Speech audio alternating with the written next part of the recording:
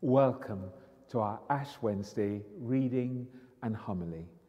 Our reading is from the Gospel of St. John, chapter 8, reading from verse 1 to 11. While Jesus went to the Mount of Olives, early in the morning he came again to the temple. All the people came to him, and he sat down and began to teach them. The scribes and the Pharisees brought a woman who had been caught in adultery, and making her stand before all of them, they said to him, Teacher, this woman was caught in the very act of committing adultery. Now, in the law, Moses commanded us to stone such women. Now, what do you say? They said this to test him, so that they might have some charge to bring against him. Jesus bent down and wrote with his finger on the ground. When they kept on questioning him, he straightened up and said to them, Let anyone among you who is without sin be the first to throw a stone at her. And once again, he bent down and wrote on the ground. When they heard it, they went away one by one, beginning with the elders. And Jesus was left alone with a woman standing before him. Jesus straightened up and said to her, Woman, where are they? Has no one condemned you? She said, No one, sir. And Jesus said, Neither do I condemn you. Go your way, and from now on, do not sin again. This is the word of the Lord. Thanks be to God. Perhaps you just pray with me before I continue. Father, we thank you for your word that brings life.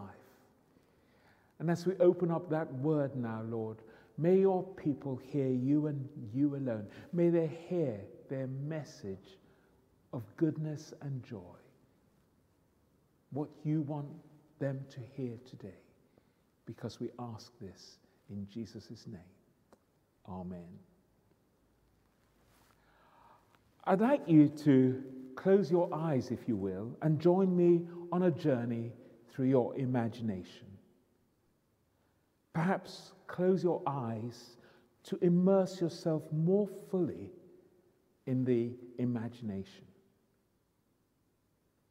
You are the woman caught in adultery, right in the middle of the act.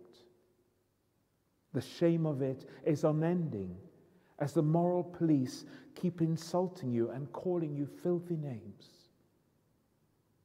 And you know what's going to happen as the law has been taught to you and to everyone from childhood. You are going to die by being stoned to death by everyone. And you're standing there just clutching the cloak, the only sheet you had to put around yourself, standing there with everybody else looking at you with eyes of reproach, eyes of indignation, eyes of disgust. If only, if only you could turn the clock back. If only. You don't know what came over you,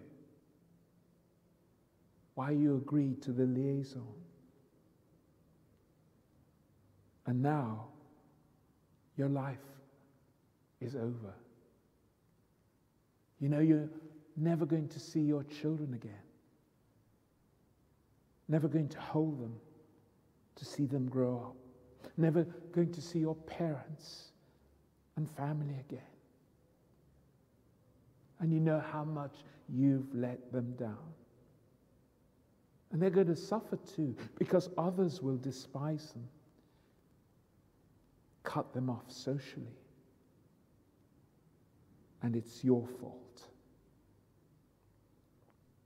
But you say to yourself, as you're pushed here and there, where are they taking me now? Why don't they just get on with it and put me out of my misery, out of my shame? Well, you may open your eyes again now and thank you for indulging me and reliving the woman's situation with me through your imagination. Did you find it hard to relate to or imagine yourself in that woman's position? Maybe you say to yourself that you would never have been guilty of what she did. Think again. Jesus said, You have heard that it was said, You shall not commit adultery. But I say to you that everyone who looks at a woman with lust has already committed adultery with her in his heart.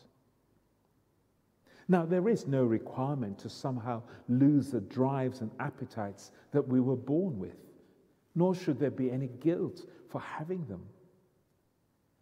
On the contrary, it's a matter of the commitment of the will, the orientation of the heart that Jesus is discussing. It's the covetous look that is forbidden, not lust or desire itself. In other words, the full sense of what Jesus is saying is this. But I tell you that anyone who looks at a woman or man covetously has already committed adultery with them in their heart. Thou shalt not covet. Thou shalt not steal. Thou shalt not kill. Thou shalt not bear false witness. Have you never done something that you know to be wrong? Or as Jesus said to the, his questioners, is there anyone without sin? Have you never done anything that you were ashamed of in the cold light of day and conscience? Maybe an addiction to pornography, an addiction to sex, an addiction to drink, to drugs, to power, to bullying. Maybe it's your propensity to be completely self centered, selfish seeking only your own advantage. I guess only you know the sins of commission and omission that you are guilty of.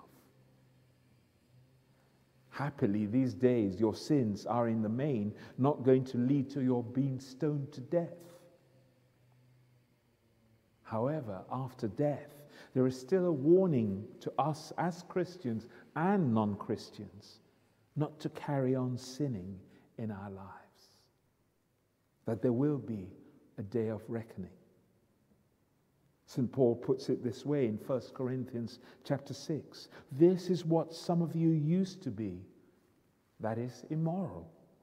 But you were washed, you were sanctified, you were justified in the name of the Lord Jesus Christ and in the Spirit of our God. In other words, we cannot keep on doing what we used to do. You, me, we cannot keep on doing what we used to do. Do you not know that wrongdoers will not inherit the kingdom of God? Do not be deceived. Fornicators, idolaters, adulterers, male prostitutes, sodomites, thieves, the greedy, drunkards, revilers, robbers. None of these will inherit the kingdom of God. Yet you may, as a believer or non believer, like the woman caught in adultery, still be struggling with shame and guilt in your life. Perhaps from ongoing sin, perhaps from patterns of behavior you can't shake off. If that's you, our gospel reading has good news for, for you today. Good news contained in those five words from Jesus Neither do I condemn you. They're wonderful. awesome. The problem is, most of us have heard those words so many times, especially if we're cradle Christians, that they don't hit us with the force they should. Perhaps it's only those who've really hit rock bottom in life, lost wife, lost husband, lost job, home, lost everything because of addiction, because of sin, uncontrolled sin in their lives, who can really savor those words. Neither do I condemn you. Whatever you've done, however reprehensible, however heinous, however blameworthy and disgusting, Jesus says these words, which must be like suddenly finding water in a desert. Neither do I condemn you. Those words of acceptance and forgiveness by Jesus are, of course, followed by an injunction not to carry on in the way you used to. Go your way, he said to the woman, and from now on do not sin again. But to every sinner full of guilt and shame, the words of Jesus are literally a get out of jail deliverance. No wonder those who are forgiven most perhaps love the most. Such a burden is lifted off our shoulders when we receive the healing of forgiveness by Jesus.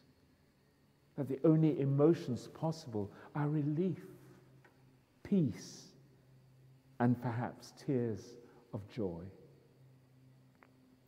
So I invite you this Lent to remember and give thanks and praise to God for what He's done for you in your life. Perhaps there was a lack of purpose and emptiness to your life. Perhaps you lived solely for yourself and without any thought for the feelings and well being of others. Perhaps you were gripped by addictions and other patterns of sins. When you received Christ, all this became history. You knew God accepted you just as you were and forgave you and welcomed you into his family. I'd like to suggest that this Lent be a time of joyous thanksgiving daily for all God has done for you. Don't put on a hair shirt like we normally do. Let each day be a day, a time of joyous thanksgiving daily for all God has done for you. That He lifted the shame and burden of our previous lives from us and has called us to share in His peace, His joy, and His love. As Paul says at the end of 1 Corinthians chapter 1 Consider your own call, brothers and sisters. Not many of you were wise by human standards, not many were powerful, not many were of noble birth. But God chose what is foolish in the world to shame the wise. God chose what is weak in the world to shame the strong. God chose what is low and despised in the world, things that are not, to reduce to nothing things that are, so that no one might boast in the presence of God.